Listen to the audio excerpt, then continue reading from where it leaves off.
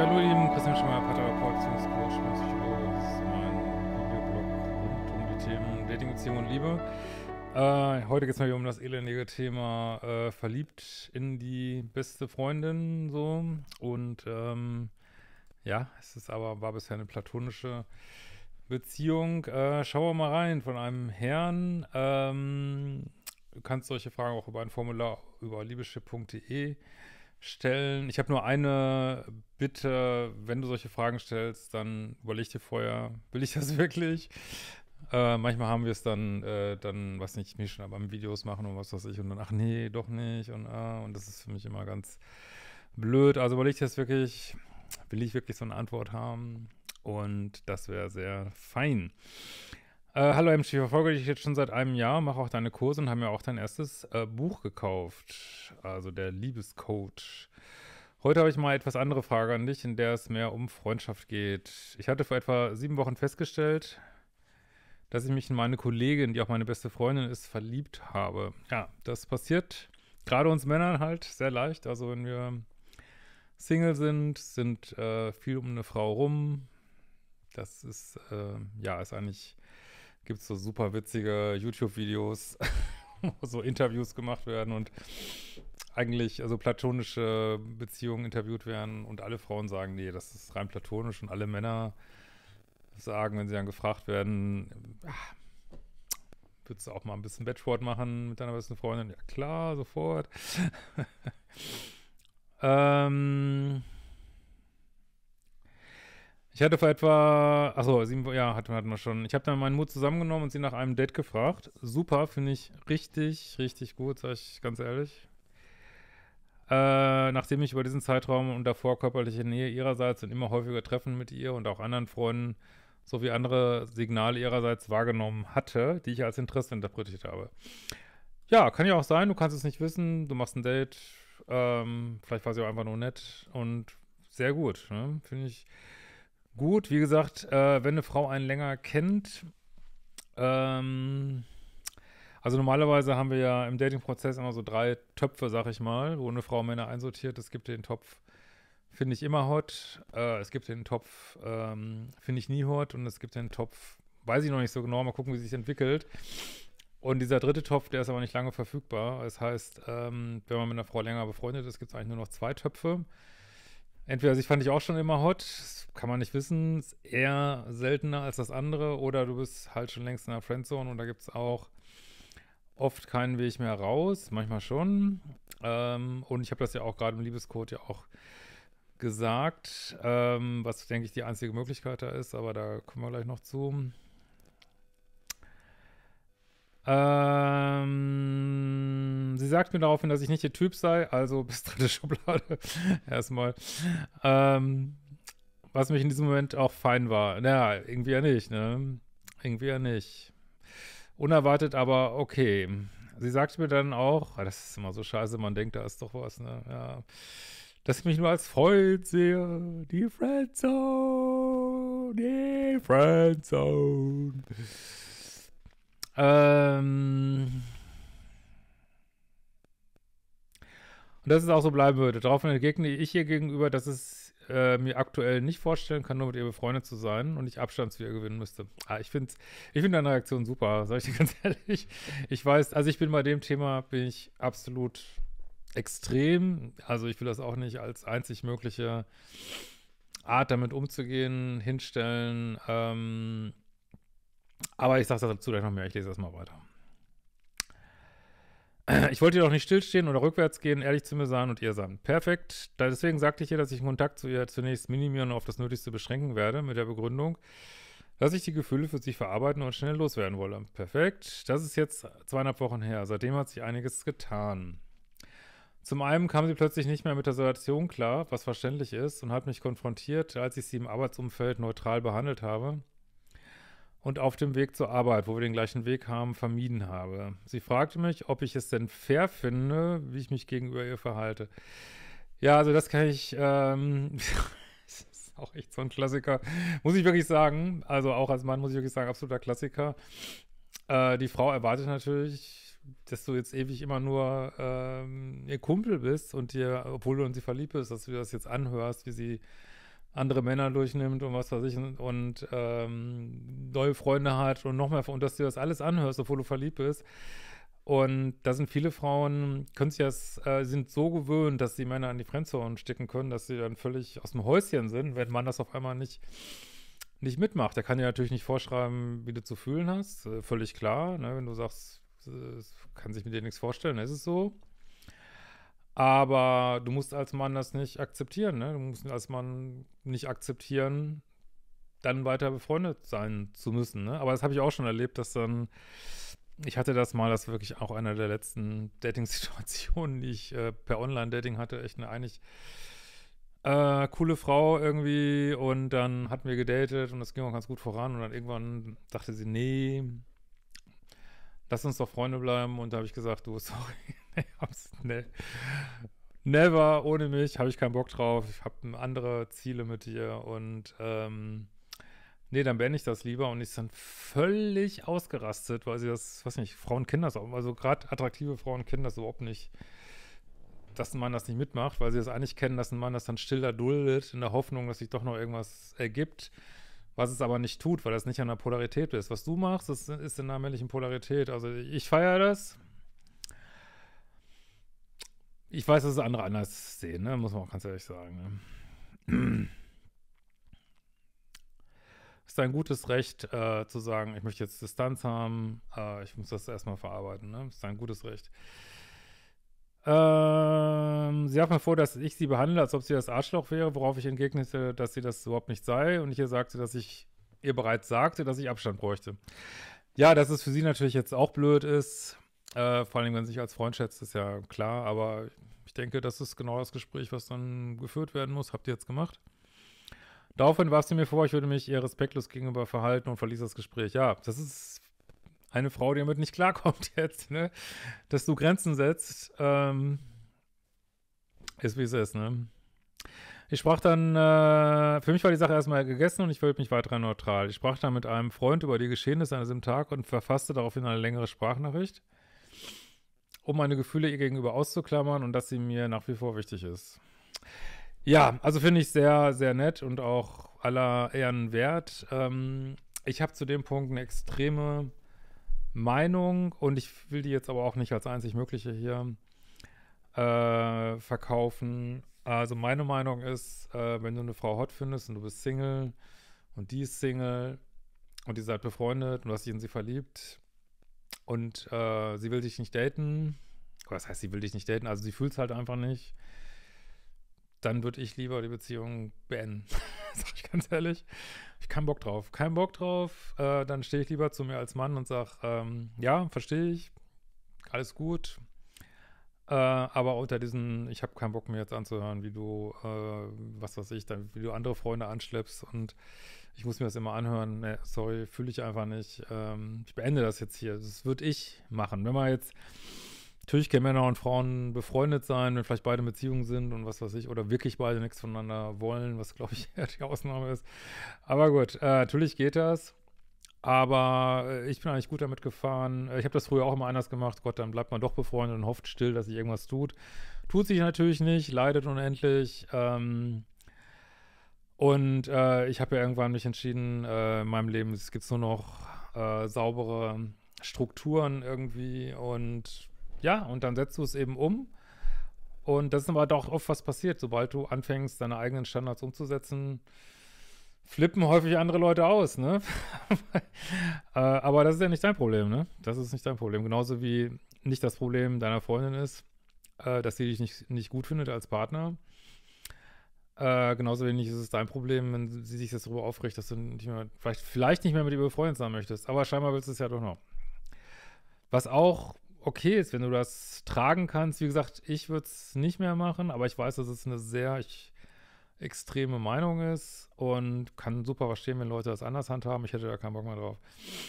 Ist natürlich so ein Problem, wenn man wirklich lange, lange, lange befreundet ist und es ist die beste Freundin vielleicht ist es einem doch wichtiger, die Freundschaft fortzuführen. Ist ja auch mal die Frage, wie sehr ist man verliebt und äh, kann man das wirklich runterschlucken? Also das muss dann letztlich jeder selber wissen. Ich könnte mir schon auch vorstellen, wenn es wirklich super langjährige Freundin ist, ja, dass man es dann doch versucht, irgendwie wieder hinzubiegen. Aber ähm, ich weiß nicht, ich stelle mir das extrem schwierig vor.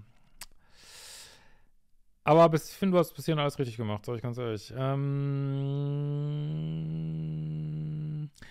und dass ich weiß, dass ich sie aktuell verletze. Ja, aber sie hätte ich ja auch verletzt. Man, ihr, ihr, verletzt euch ja beide nicht absichtlich. Aber ihr fühlt, sagen wir so, ihr fühlt euch beide verletzt. Aber du ja auch, ne? Äh, wie gesagt, genauso wenig, äh, wie, wie, man von ihr erwarten kann, dass sie jetzt plötzlich mit dir zusammen sein will, ähm, kann sie von dir erwarten, dass du das jetzt akzeptierst, die Situation, ne? Absolut nicht. Ähm.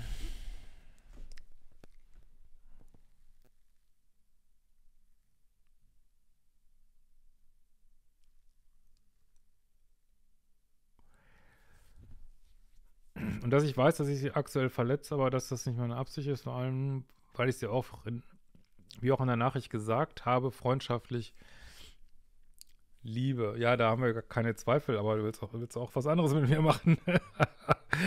und mit ihr zusammen sein, ne? Geht da mal nicht von ab. Die Antwort ihrerseits lautet, dass sie nicht weiß, wie sie mit der Situation klarkäme. Ja, ist ja auch scheiße. Das verstehen wir alle. Dass sie freundlich sei mir gegenüber und hinterfragt, ob ein Mädchen nicht mehr freundlich sein darf. Also sie hat ja auch nichts falsch gemacht. Das ist, steht außer Frage, ne? Ist halt, wie es ist, ne? Ist für euch beide jetzt blöd, aber so ist das Leben halt, ne? Ähm, ah, sie natürlich hat sie auch nichts falsch gemacht, klar. Abs sehe ich ganz genauso.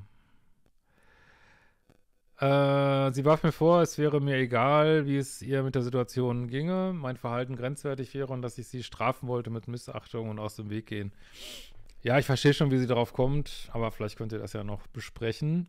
Sie glaubte außerdem, dass sie, dass ich es glaubte außerdem nicht, dass ich es schaffen würde, mit den Gefühlen fertig zu werden und die Situation zu meistern. Ja, dann sollst du doch zufrieden sein, wenn du dich aus der Situation rausziehst. Ähm, daraufhin begab ich mich auf Sendepause und ich musste auch nur einmal zusammen arbeiten seitdem mit ihr. Ich verhielt mich neutral und sie genauso. In dieser Zeit ergründete ich, dass ich mich nur in eine Idee von ihr verliebt hatte, die auf einem krankhaften Bindungsmuster bezüglich meiner schlechten Beziehung mit meiner Mutter aufbaute. Ja, also da weiß ich, ja, fehlen mir jetzt die Hintergründe. Also lese ich jetzt mal einfach so vor, aber okay. Ähm, was ist denn das für ein, für, für ein äh, krankhaftes Bindungsmuster? Weil ihr, also ihr seid doch gut befreundet. Wo ist jetzt hier das Krankhafte? Und dann hast du dich in dir verliebt. Das ist doch alles, finde ich jetzt nichts krankhaft. Ähm, also erscheint mir jetzt nicht wie ein krankhaftes Bindungsmuster, aber vielleicht ähm, fehlen mir jetzt hier Informationen. Äh, krankhaft natürlich jetzt in Anführungsstrichen jetzt nicht ähm, ernst gemeint. Ähm, ich verwechsel in diesem Kontext Nähe, Wärme, Freundlichkeit und Fürsorge mit Interesse und verliebe mich dadurch immer wieder in Ideen von Freundinnen und Kollegen. Ich finde das zum großen, ich weiß jetzt nicht, ob du dich jeden Tag in jemand Neues verliebst, aber ähm, also sich in jemand äh, zu verlieben, den man so vielleicht optisch interessant findet und der einem dann auch äh, offen und warmherzig entgegenkommt den man einfach mag, äh, finde ich, dass man sich dann in den verliebt, finde ich völlig normal. Also da weiß ich jetzt ehrlich gesagt nicht, wo ihr das destruktive Muster ist, aber vielleicht versteht ihr das und könnt es in die Kommentare schreiben. Ähm ich arbeite daran, dass meinem Gehirn äh, in dieser Hinsicht Differenzierung beizubringen, was bisher ganz gut klappt. Na, ich kann nur sagen, aus, aus meinem Leben, dass ich auch schon äh, mal falsch eingeschätzt habe und gerade mit so einem mutigen Move, wie du den auch gemacht hast, sich die Person auf der anderen Seite dann doch überlegt hat, ob sie mich nicht äh, doch auch gut findet auf eine andere Weise. Also, ähm, ich finde, du hast da alles richtig gemacht, ne? Entlieben klappt ganz gut bisher und kein Rebound mit einer anderen Kollegin oder Freundin. In der letzten Woche haben sich allerdings die Dinge überschlagen. Ich feierte mein äh, Streaming-Comeback, ähm, ja, scheinbar bist du auch Content Creator. Und sie tauchte plötzlich in meinem Chat auf und interagierte mit mir. Sie lobte mich für meinen Stil zu streamen und die Leute zu unterhalten. Am nächsten Tag hatte ich wieder mit ihr zu arbeiten. Wo dann auch zufälligerweise eine Kollegin auftauchte, mit der sie sich über zwei Stunden neben der Arbeit nur über Kerle unterhielt. Ja, das ist, das ist eben die Scheiße. Dann ist man befreundet und muss sich das anhören, ne? Daraufhin kamen auch noch ihre Mutter, Stiefbruder und Vater zum Essen. Ähm, Mit denen unterhielt sie sich über ihre aktuelle Dating-Situation und ihren Typ Mann. Oh? Das ist genau die Scheiße, die sie immer sich dann anhören muss. Ich fühlte mich vorgeführt, versuchte aber mir nichts anmerken zu lassen. Ja, das ist immer gut, cool zu bleiben. Im Verlauf des Abends bot ich ihr dann aus kollegialen Gründen an, ihr eine körperlich schwere Arbeit abzunehmen, weil sie auch Probleme mit der Wirbelsäule hat. Ja, okay. Eine halbe Stunde später war sie plötzlich wieder fürsorglich und hat sich wiederholt sichergestellt, dass ich genug trinke. Meine Fragen sind jetzt, was könnte ihre Mission sein? Ich glaube, sie ist einfach äh, verwirrt. Ja, will ich äh, Stand jetzt nicht daten. Ähm, Finde ich aber, äh, ist, du bist ihr als Freund wichtig. Und sie weiß nicht, wie sie mit der Situation umgehen muss und äh, switcht da so hin und her, denke ich. Ne? Ich habe mich entlieb und möchte zu diesem Zeitpunkt nur noch mit ihr befreundet sein. Wenn das so ist, dann ist es so, ne?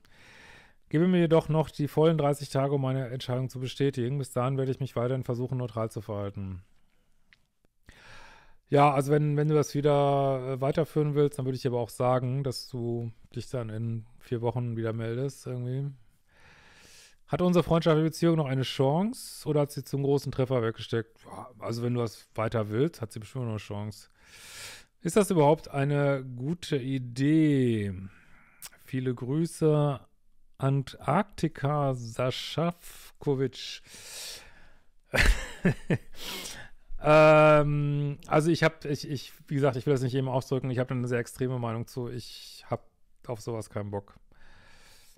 Sage ich ganz ehrlich, ist meine ganz persönliche Meinung, aber ich, ich sage jetzt nochmal, ich will das nicht jedem aufdrücken. Ähm, also, wenn das Leute anders sehen äh, und, und sagen, hey, mir ist denn die Freundschaft doch wichtiger, ich schluck das runter und ich kriege das schon irgendwie hin. Alles gut, äh, wunderbar, wirklich, nichts falsch dran. Einfach, weil irgendwie auch so eine Freundschaft ein wichtiger Wert ist, so, ne? Eins ist nur klar, wenn es irgendeine Chance gibt, dass sie doch auf die Idee kommt, dich daten zu wollen, die zugegebenermaßen sehr klein ist hier an diesem Punkt, dann nur darüber, äh, dass man in seiner Polarität bleibt und sagt, hey, ich habe hier für mich eine klare Entscheidung getroffen, ich äh, will nur als Date mit dir zu tun haben, das ist meine Entscheidung. Du kannst dich natürlich entscheiden, dass du es nicht willst, dann ja, geht das hier auseinander bei uns. Und äh, da soll es Situationen gegeben haben, wo eine Frau dann das doch so cool fand, äh, dass sie dann doch gesagt hat, ja komm, vielleicht bist du doch mein Typ. Aber die Chance ist vielleicht ähm, gering. Und wenn du jetzt sagst, dass es dir auch so wichtig ist mit der Freundschaft, ähm, ist das völlig in Ordnung, wenn du dich jetzt noch ein bisschen erholst davon. Äh, nur über, überleg wirklich in dieser Zeit, du wirst weiter Geschichten hören, wie sie andere Männer hat, andere Partner hat. Äh, ja, und bist du wirklich in der Lage und, und, und willens auch, das auszuhalten? Ne? Das musst du dir halt überlegen. Und ich sage ganz ehrlich, ich, aber ich bin in meinem Leben immer extremer geworden und ich will das auch nicht, wie gesagt, ich will das, muss nicht jeder so sein. Äh, für mich gibt es da wirklich nur noch, ja, klare Strukturen ähm, und sicherlich tolle Sachen mit einer Frau befreundet zu sein, aber wenn ich mehr von der will und sogar verliebt in sie bin, keinen Bock mir dann reinzuziehen, wie sie einen anderen Typen hat, echt dann lieber Lieber ganz abhaken, ist meine Meinung. Aber wie gesagt, entscheide, muss jeder für sich entscheiden. In diesem Sinne, wir sehen uns bald wieder. Äh, wir haben jetzt bald auch, äh, Mittwochabend ist dieses ähm, 40k, also 40.000 Abonnenten Kanal-Special. Da müssten wir diese ungefähr haben. Ähm, Wenn es dann 10 weniger sind, ist auch egal. Äh, kommt da gerne dazu. Wie gesagt, 20 Uhr Mittwoch live. Äh, Selbstliebe-Challenge geht nächsten Monat wieder los. Äh, Manifestations-Challenge. Äh, Verlustangskurs. Und wir haben immer noch fünf Tickets oder so für Wien. Äh, vielleicht müsst ihr also ein bisschen suchen auf meiner Homepage. Ich glaube, die gibt es nicht direkt über Event-Team zu kaufen. Vielleicht weil es im Ausland ist. Ich weiß gar nicht genau warum. Und wir bereiten natürlich auch äh, für mein neues Buch auch die neue Lesetour schon wieder vor. Ciao, ihr Lieben.